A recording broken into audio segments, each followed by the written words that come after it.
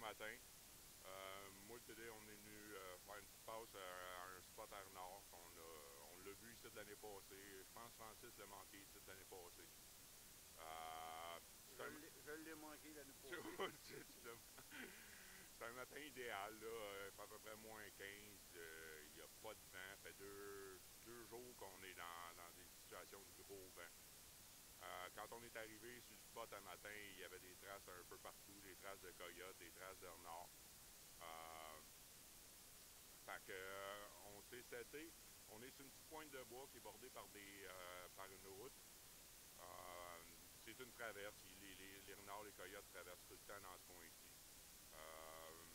on collait des, grands champs ouverts. Là. Il y a une petite pointe là-bas qui, qui, normalement, c'est là que les, les renards se tiennent.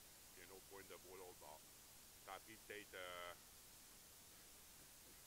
la, première série de calls, puis là, d'un coup, je regardais dans le champ, puis il s'en venait à la grande course.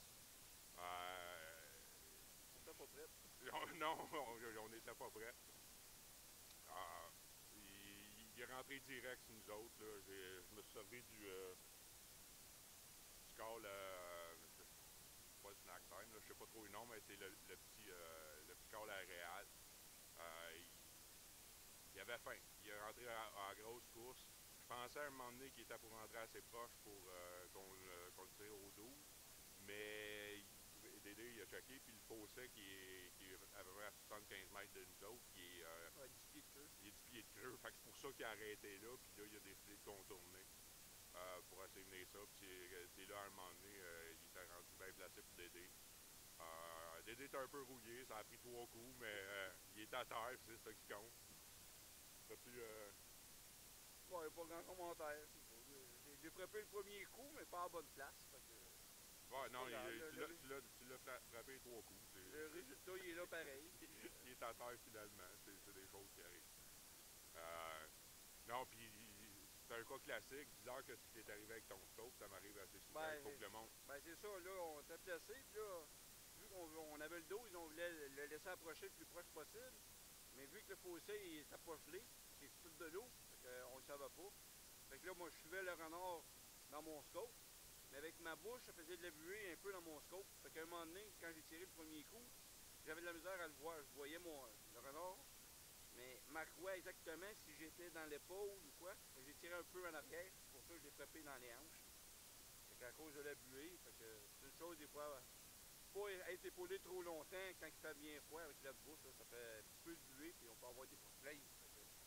Après ça, ça s'est replacé, j'ai mon scope, puis euh, la chute est parfaite à plein centre de l'épaule. Puis je voulais qu'il mentionne parce que c'est quelque chose que vous pouvez aussi mentionner des fois, puis que ça arrive tout le temps. On a beau être préparé, tout ça. Quand on est en position de tir, on a beau juste devant le scope. C'est juste de te lever à la tête pour essayer de chercher ton gibier. Puis si fait 5 minutes, t'es dehors, puis ton, ton, ton scope il est rendu bien prêt, euh, du moment que la buée elle, touche, ça gèle en place, puis là, il n'y a plus rien à faire. Fait qu'il faut tout le temps faire attention avec ça, de, euh, de, garder le cap en arrière, le fermer le plus longtemps possible. Puis, euh... Même si j'avais une cagoule, j'avais ma cagoule, il se prête, puis ça fait de la buée, la même chose. c'est une chose à. Parce que la cagoule, elle fait sortir la, la, Quand tu as la cagoule ici, ça fait ressortir la, la buée par en haut, puis elle s'en va direct dans le scope des, euh, des, des, choses à faire attention quand on chasse l'hiver. Euh, j'ai un bon scope anti-buée, j'ai un leu folle, là. Fait que, vous voyez, ça arrive. Ça arrive à tous les scopes, même euh, les, les, les, plus chers ou les plus cheap. C'est juste, il n'y a rien qui peut empêcher ça, comme des vis dans une maison.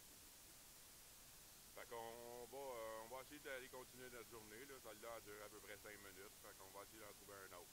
Puis, euh, je une, une bonne saison de chasse à tous. À la prochaine.